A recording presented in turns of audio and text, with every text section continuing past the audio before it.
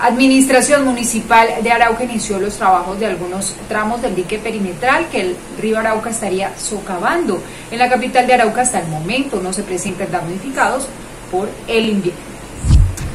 La Administración Municipal, a través de la Coordinación de Gestión del Riesgo y Desastre Municipal de Arauca, adelanta algunos trabajos en el dique perimetral para evitar el desbordamiento del río Arauca. En la vereda del Corocito se estaría filtrando este afluente a ver, lo que ha sucedido con el sector de Corocito, más exactamente en la comunidad indígena de Mazaguaros, es que se estaba haciendo una infiltración subterránea sobre la vía.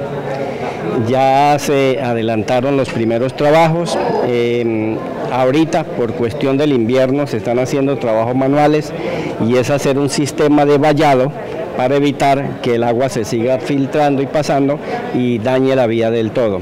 Ya eh, se hicieron las primeras acciones con participación de, los indígenas, eh, con apoyo del señor alcalde, eh, se entregaron también 500 sacos, la comunidad y los bomberos fueron para arreglar la madera, pero debido a, los aguaceros que, que estuvieron cayendo no se pudo terminar.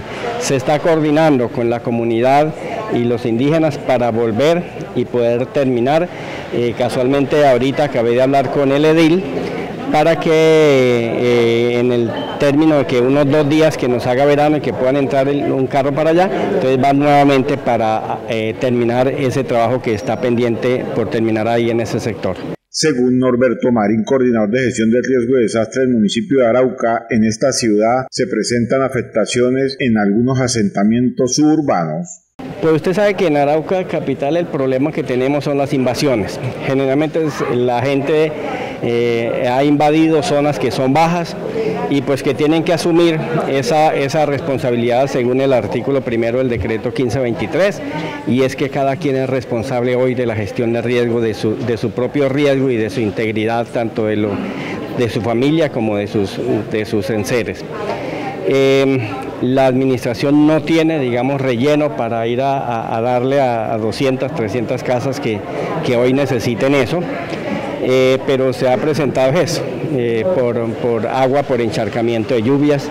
El jefe de esta cartera dijo que también se realizaron unos trabajos en el sector de los pechos en el municipio de Arauca. También se estuvo haciendo un trabajo con la comunidad y apoyo del señor alcalde y de los bomberos, de la defensa civil, en el sector de los pechos donde también había, eh, se estaba pasando el agua por encima de la vía y pues eh, ponía en riesgo el, el, dique vía en ese sector. También hicieron algunas recomendaciones a personas que estarían invadiendo terrenos a orillas del río Arauca. Eh, con las comunidades seguimos haciendo las mismas recomendaciones, que por favor no hagan sus asentamientos en la ribera del río, que hoy, aparte que se convierte en un, en un delito, porque es poner en riesgo su propia integridad y la de su familia, pues también eh, no hay, no hay cómo eh, poder apoyar a cada una de las familias que van haciendo asentamientos.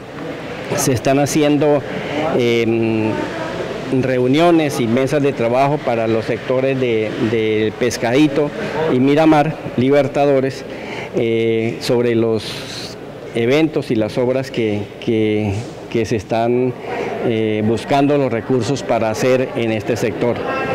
Pero hay otros muchos sectores en donde la gente todavía no tiene la conciencia de que más bien llegan lo que pasó en el sector de, de, Monserrate y Los Pechos, donde muchos llegaron y se hicieron su asentamiento fue entre el dique y y el río, y lo que hicieron fue talar una cantidad de zona donde dañan y debilitan mucho más el talud de la, ribera del río y pues esto pues lo que pone en riesgo a, todas estas eh, mm, diquevías. El invierno continuará durante dos meses más en esta región del país, así lo anunció el IDEAN.